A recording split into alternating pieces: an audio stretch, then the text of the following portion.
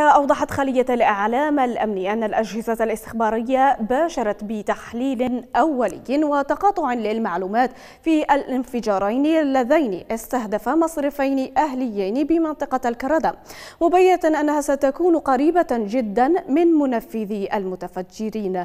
وأكدت الخلية في بيان لها أن الأجهزة الأمنية ستأخذ بالقصاص العادل من المنفذين عاجلا غير آجلة وتكشف عن من يقف وراء هذين العمليتين اللذان يهدفان إلى زعزعة الأمن والاستقرار وخلط الأوراق.